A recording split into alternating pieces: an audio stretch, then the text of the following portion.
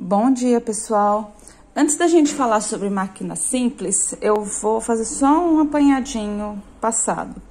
Força é uma grandeza vetorial, porque ela tem uma, uma um segmento, né? Ela vai ter uma direção para ser aplicada.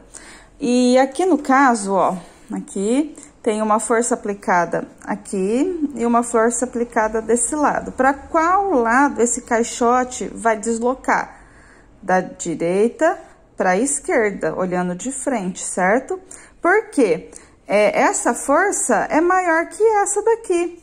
Então, é, ele vai fazer esse deslocamento. Então, a força ela tem um sentido, tá? Para ser deslocada. Nós temos as leis de Newton, tá? A primeira lei de Newton fala: se um corpo estiver parado, ele tende a ficar parado, aqui, até que alguma força atue sobre ele. E um corpo tende a ficar em movimento até que alguma coisa haja sobre ele e ele pare, tá?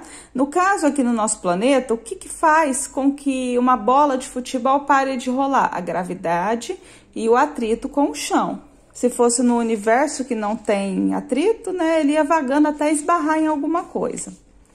Nós temos a segunda lei de Newton, que é o quê? A aceleração de um corpo vai depender da força que eu vou aplicar nele, né? E a massa que tem no local. Quanto mais pesado o carrinho, mais força eu tenho que fazer para empurrar, certo? Isso é a segunda lei de Newton.